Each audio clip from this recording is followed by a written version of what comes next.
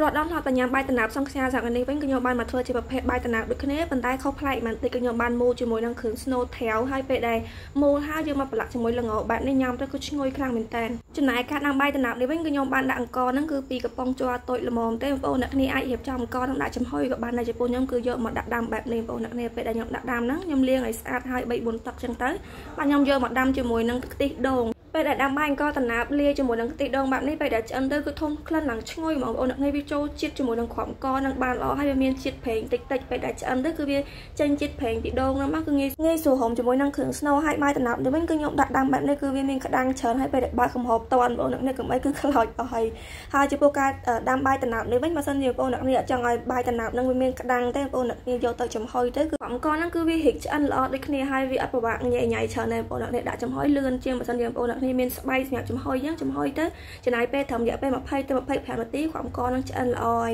ចំណែកផ្នែកស្នូនេះវិញក៏ខ្ញុំបានជ្រើសជាប្រភេទស្នូថែវបូកជាមួយនឹងដលងពណ៌ស្វាយដែរដើម្បីពេលតែក្លុកទៅគឺឃើញពណ៌គ្រឿងស្នូហ្នឹងវាដិតបានល្អចំពោះគ្រឿងស្នូបងប្អូនអ្នកនេះអាចជ្រើសរើសតាមចំណង់ចំណូលចិត្តបានចូលចិត្តញ៉ាំជាប្រភេទថែវអញ្ចឹងក៏បានឬក៏បងប្អូនអ្នកនេះមានសណ្តែកបាយសណ្តែកខៀវអីចឹងអាចធ្វើជាប្រភេទស្នូសណ្តែកស្នូសណ្តែកក៏បានដែរគឺរសជាតិឆ្ងាញ់ដូចគ្នានិយាយជាប់មាត់រហូតបងប្អូនអ្នកគ្នាហើយខ្ញុំបានក្លុកគ្រឿងស្នូនឹងឲ្យវាបែកមាត់បានប៉ុណ្ណេះហើយទើបខ្ញុំយកមកលាយជាមួយនឹងទឹកខ្ទិះដូងខ្ញុំប្រើជាមួយនឹងខ្ទិះដើមកន្លះកូនចានផ្នែកគ្រឿងស្នូលាយជាមួយនឹងខ្ទិះដើមបែបនេះគឺក្លិនវាឈ្ងុយខ្លាំងមែនតើវាចូលជាតិជាមួយនឹងគ្រឿងស្នូហ្នឹងគឺឆ្ងាញ់បងប្អូនអ្នកនេះដាក់ជាមួយនឹងខ្ទិះចុងក៏បានដែរប៉ុន្តែដាក់តាមឲ្យល្មមបានហើយកុំឲ្យពេលដែលបងប្អូនអ្នកនេះលាយគ្រឿងផ្សំហ្នឹងទៅវារាវពេកពេលយកទៅកូរនៅលើភ្លើង សាច់គ្រឿងស្នូលនឹងពុះទៅគឺវាអាចនឹងខ្ទាតបងប្អូនអ្នកនេះពេលដែលយើងកូរផងអីផងអញ្ចឹងវាខ្ទាតប៉ះនឹងដៃវាអាចនឹងលាយអញ្ចឹងបងប្អូនអ្នកនេះព្យាយាមលាយគ្រឿងផ្សំហ្នឹងឲ្យខាប់គឺកាន់តែល្អចំពោះខ្ញុំនេះគឺលាយលាយនេះគឺវារៀងរៀងរាវផងបងប្អូនអ្នកនេះអញ្ចឹងគឺរៀងពិបាកកូរដែរពេលដែលវាពុះបែបនេះមកវារៀងផ្ទុះខ្ទាតនៅប៉ះដៃប៉ះអីអញ្ចឹងបងប្អូនអ្នកនេះព្យាយាមលាយគ្រឿងស្នូលហ្នឹងឲ្យរៀងខាប់យកទៅកូរនៅលើភ្លើងចំណេញពេលទៀតកូរតែមួយផ្លែតសាច់គ្រឿងស្នូលហ្នឹងវាឆាប់ស្អិតចូលគ្នាហើយខ្ញុំបន្តការកូររហូតតតែសាច់គ្រឿងស្នូលដែលខ្ញុំបានដាក់នៅលើភ្លើងហ្នឹងវាស្អិតល្មួតចូលគ្នាវាអស់ជាតិទឹកដែលខ្ញុំបានដាក់បងប្អូនខ្ញុំបានកន្លុកជាមួយនឹងគីឡូហ្នឹងខ្ញុំបានបន្ថែមទឹកហើយនឹងអស់ជាតិខ្ទិះដូងបន្តិចទៅគឺបានហើយវាស្អិតចូលគ្នាប៉ុណ្ណាខ្ញុំរៀបចំដាក់ចានខ្ញុំមកបន្តលីងជាមួយនឹងល្ងដែលថាតែល្ងដែលខ្ញុំទិញមកនេះគឺអត់ទាន់លីងហើយទេអញ្ចឹងគឺខ្ញុំលីងមកដើម្បីឲ្យល្ងហ្នឹងវាមានក្លិនឈ្ងុយបានល្អ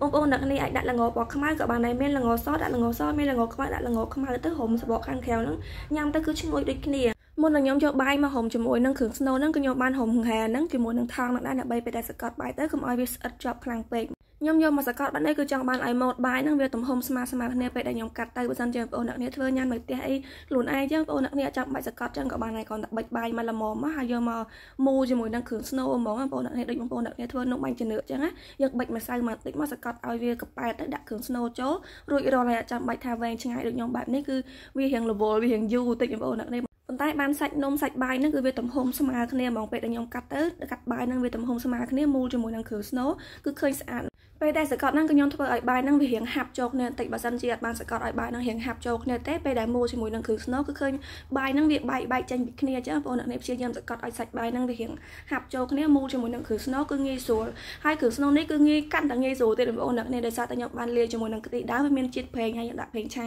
ពីលព្រាទៀតទៅពេលដែលគ្រឿងស្នូហ្នឹងចុះត្រជាក់គឺវាអត់មានស្អិតជាប់ប្រទេសបដាប់នឹងដៃទេគ្រាន់តែមូលវាជាដុំមូលមកល្មមមកយើងមកមូលជាមួយនឹងបាយដំណាប់ឲ្យវាចិត្តប៉ុណ្ណេះគឺរួចរាល់ហើយពេលដែលមូលហើយបាទនេះបងប្អូនអ្នកនេះអាចយកទៅប្រឡាក់ជាមួយនឹងល្ងសដូចខ្ញុំចឹងក៏បានឬក៏បងប្អូនអ្នកនេះយកទៅញ៉ាំជាមួយនឹងខ្ទិះដូងដាក់ខ្ទិះដើមមកហើយលាយជាមួយនឹងម្សៅអង្គខ្សាយបន្តិចទៅដើម្បីឲ្យទឹកខ្ទិះដូងហ្នឹងវារៀងខាប់ខាប់ហើយដាក់ស្ករឲ្យវារៀងផ្អែមឡមឡមញ៉ាំជាមួយនឹងបាយតំណាបនេះបងប្អូនអ្នកនេះគឺរសជាតិឆ្ងាញ់ដូចគ្នាដូចបងប្អូនអ្នកនេះធ្លាប់ញ៉ាំនំដែលគេស្រូបខ្ទិះនៅខាងលើចលក់ចឹងគឺថាឆ្ងាញ់មែនតើយកមកស្រូបលើតិចតិចមកញ៉ាំទៅគឺឈ្ងុយហើយរយល្ងពីលើតិចទៀតអែមហ្មងបងប្អូនអ្នកគ្នា ហើយចំពោះបាយតំណោតនេះបងប្អូនអ្នកគ្នាអាចកាត់ឲ្យខ្លីជាងខ្ញុំបន្តិចទៀតគឺកាន់តែល្អពេលដែលកាត់វែងដូចខ្ញុំពេលដែលញ៉ាំបងប្អូនអ្នកគ្នាញ៉ាំទៅគឺវាឈូសឈូសល្ងហ្នឹងគឺឈូសញ៉ៃញ៉ៃច្រើនបងប្អូនអ្នកគ្នាកាត់រៀងដុំតូចតូចមកយើងកាន់ញ៉ាំមកដល់ម៉ាត់គឺឆ្ងាញ់ហើយងាយស្រួលទឹកវាអត់មានឈូសល្ងអីចាញ់ញ៉ៃញ៉ៃទេហើយនំដែលខ្ញុំបានធ្វើនេះគឺហើយរួចរាល់អស់ហើយបងប្អូនអ្នកគ្នាអាចមើលជាក់ស្ដែងចឹងបានគឺតំណងខ្លាំងមែនតើហើយនំដែលខ្ញុំបានធ្វើហ្នឹងវារៀងធំចឹងពេលដែលកាន់ញ៉ាំវាពិបាកខ្ញុំកាត់ជាពេលទៀតទៅឲ្យវាដុំតូចល្មមញ៉ាំមួយម៉ាត់ម៉ាត់គឺថាបងប្អូនអ្នកគ្នាពេញពេញមាត់ហើយញ៉ាំឡើងឆ្ងាញ់ហ្មងចំណែកគ្រឿងស្នូលវិញពេលដែលមូលបែបហ្នឹងហើយគឺស្អិតល្មួតជាប់នឹងសាច់អង្គតណើបហ្នឹងហ្មងខ្ញុំប្រាប់វិធីមួយទៀតបងប្អូនអ្នកនេះសម្រាប់ធ្វើនំនេះគឺកាន់តែឆ្ងាញ់ទៀតបងប្អូនអ្នកនេះគ្រាន់តែមូលគ្រឿងស្នូលជាមួយនឹងបាយតណើបចឹងហើយយកទៅចៀនបងប្អូនអ្នកនេះដាក់ខ្ទះឲ្យក្តៅហើយលាបប្រេងឆានៅលើខ្ទះហ្នឹងតិចទៅដាក់បាយនឹងចូលញ៉ាំបងប្អូនអ្នកនេះឆ្អិនណាពេលដែលវាក្រៀមឆ្អិនទៅដូចញ៉ាំសោមអាំងចឹងបងប្អូនអ្នកនេះគឺឆ្ងាញ់ឡើងមែនតើហើយកាន់តែឈ្ងុយទៀត ចំពោះ3វិធីដែលខ្ញុំបានបង្ហាញបងប្អូនអ្នកនេះញ៉ាំជាមួយនឹងស្រូបទឹកខ្ទិះដូងក៏បានយកមកហុំជាមួយល្ងចេកក៏បានឬក៏យកទៅចៀនក៏បានដែរបងប្អូនអ្នកនេះ3វិធីហ្នឹងបងប្អូនអ្នកនេះអាចជ្រើសរើសបានគឺធ្វើមួយណាញ៉ាំទៅគឺវាឆ្ងាញ់ដូចគ្នាប៉ុន្តែបើសិនជាបានចៀនណាគឺធ្វើឲ្យសាច់ម្សៅហ្នឹងក្រៀមទៀតបងប្អូនអ្នកនេះគឺវាកាន់តែឆ្ងាញ់ សម្រាប់ថ្ងៃនេះវិញគឺថ្ងៃអាទិត្យទៀតណាបងប្អូនដែលគាត់ទៅនៅនៅផ្ទះដឹងថាទៅណាដឹងថាដើរលេងនៅណាអញ្ចឹងអត់ចង់ចំណាយលុយច្រើនទេបងប្អូនអ្នកនេះអាចចំណាយពេលធ្វើនំនេះញ៉ាំបានគឺងាយស្រួលហើយបងប្អូនអ្នកនេះគ្រឿងផ្សំគឺអត់មានអីពិបាកទេមានតែត្រាវខ្ទិះដូងហើយម្សៅអង្គតណាតិចអង្គតណាបន្តិចមកគឺរួចរាល់ហើយចំពោះវីដេអូមួយនេះវិញគឺចាប់ដំណឹងហើយសម្រាប់បងដែលគាត់ចូលចិត្តវីដេអូដែលខ្ញុំធ្វើសូមបងជួយចុច like និង share ខ្ញុំមួយផងណាអរគុណច្រើន